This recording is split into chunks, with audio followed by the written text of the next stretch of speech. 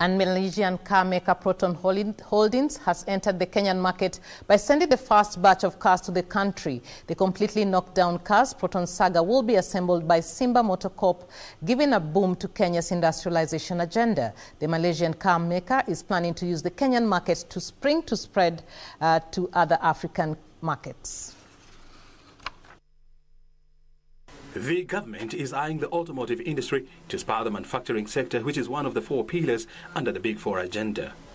To this end, the industry is expected to receive renewed focus as the country seeks to boost vehicle manufacturing in the country.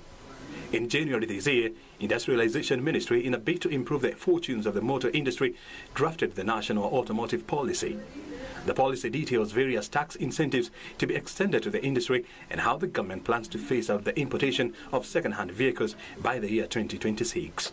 All government departments will now have to buy uh, through our framework contracts motor vehicles that are assembled here and we have had a meeting with the assemblers. So far, German car maker Volkswagen and French auto giant Peugeot have expanded their vehicle assembly business into the Kenyan market due to the improved environment. Malaysian state-owned car maker Proton Saga is the latest vehicle maker to enter the Kenyan market, partnering with Simba Corp Motors to assemble the brand in the Kenyan market. Kenyan High Commissioner to Malaysia, Francis Muhoro, says this is expected to boost the manufacturing pillar. Muhoro further says this will also increase the value of trade between Malaysia and Kenya and help to contribute to the creation of jobs in the Kenya's automotive industry.